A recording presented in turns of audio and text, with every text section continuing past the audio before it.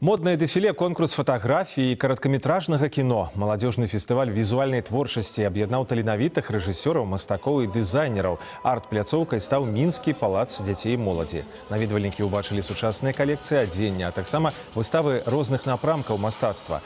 Дарэчы, менавіта падчас народнага галасавання і выбралі пераможца ў пяці номінацыях.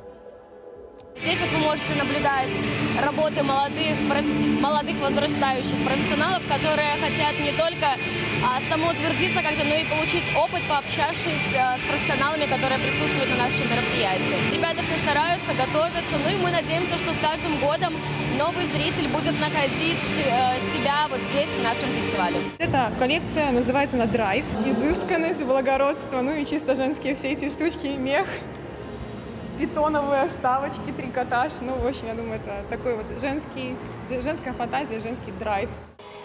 На працягу года ў такім жа фармаце свае таленты прадэманструюць таксама музыканты, танцоры і прадстаўнікі стрыт-арта.